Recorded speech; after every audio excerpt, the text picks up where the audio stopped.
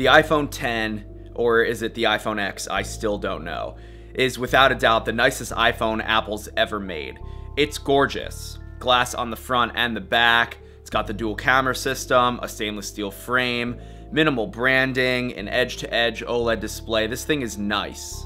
It checks a lot of boxes for what makes a premium smartphone, but I don't think it's worth the premium price. I've been using this space gray 256 gigabyte model as my daily driver for two months, and here's where the phone falls short for me. The first thing is the notch. I am still dumbfounded that Apple made this design choice, but here we are in 2018 and my phone basically has horns.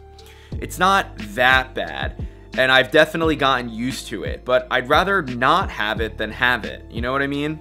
Other manufacturers have made edge to edge screens without cutouts, but I digress. The second thing is the persistent swipe indicator. It follows you everywhere you go in the OS, reminding you that no, no, no, there's no home button, but you gotta swipety swipe to get rid of apps. And there's no option to turn it off, which would just be too easy. And number three, the meat and potatoes of this video, the lack of Touch ID. You see, Face ID works, and it works really well in most conditions. If it has a clear visual of your face, it totally functions the way it should. But in the sub-freezing temperatures that we currently have in New York City, going outside pretty much requires you to cover your face, meaning Face ID will 100% fail.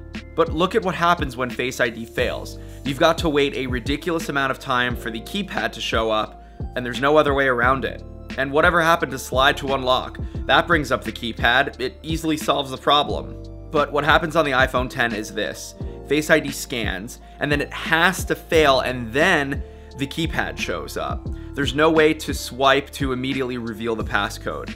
This entire process takes way too long, especially when you compare it with Apple's near perfectly functioning other mechanism of unlocking iPhones prior to the 10. Really, Touch ID is just as fast, if not faster than Face ID, because Face ID requires you to bring the phone all the way up to your face, whereas Touch ID can be done while you're still raising the phone.